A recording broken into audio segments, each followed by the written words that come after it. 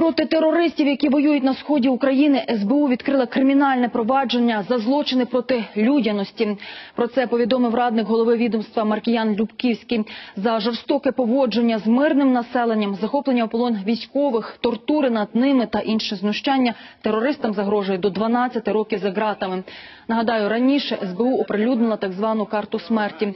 На ній зібрано найстрашніші злочини, які скоїли терористи та російські агресори. Нині там позначено 26 місць розташування в'язниць, катівень, концтаборів терористів, виявлені місця тортур, розстрілів, масових поховань мирних жителів. За вказані дії встановлено покарання від 8 до 12 років позбавлення волі, а у випадку, коли вони були поєднані з умисним вбивством, до 15 років або у вигляді довічного позбавлення волі. Триває досудове розслідування.